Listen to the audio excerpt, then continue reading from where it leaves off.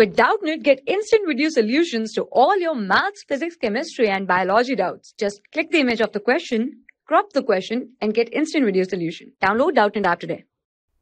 Students, the question is consider the circuit shown in figure.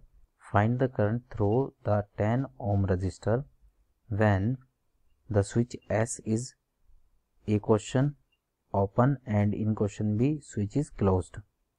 So students, if switch is open for part A, if switch is open, then net resistance will be equal to 10 plus 20 because both are connected in series.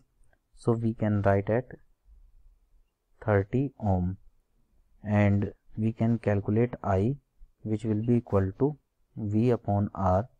And here V is 3 volt and R we have calculated so current will be equal to 0.1 ampere.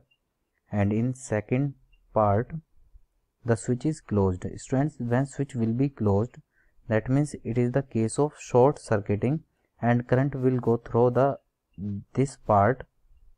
And current will not grow from this branch because it has resistance and current go from that branch in which it experience minimum resistance. So current will go from this path due to which the net resistance R will be equal to 10 ohm and we can write I is equal to V upon R and V is 3 volt and R is 10 ohm.